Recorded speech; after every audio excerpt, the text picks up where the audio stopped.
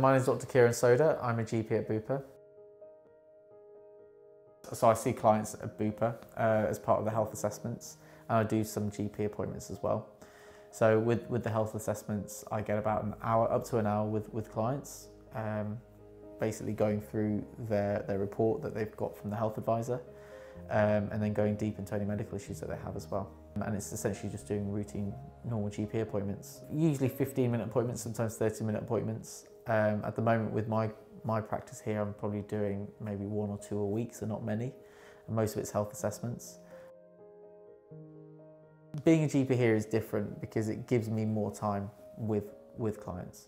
So I've, I've got an ability to set an agenda with them and to go through a few issues with them, but also to go deep with those issues um, and create clear management plans and strategies for them to manage their, their health conditions.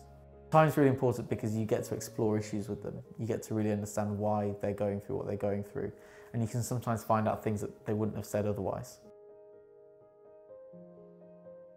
There are ways in which you can progress within the Bupa network.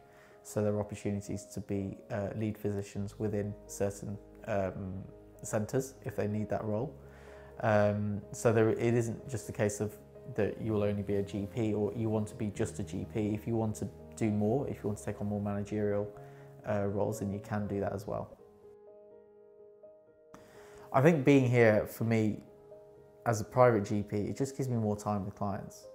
Uh, it gives me time, I actually get a lot of satisfaction from doing it because although I know that they're paying for, for this service rather than it being funded, I actually know that I'm making a really big difference and it's hopefully a longer term difference rather than a very short term difference on a day to day basis. This is like I'm able to make a big change and shift in someone's life potentially for that year or even longer.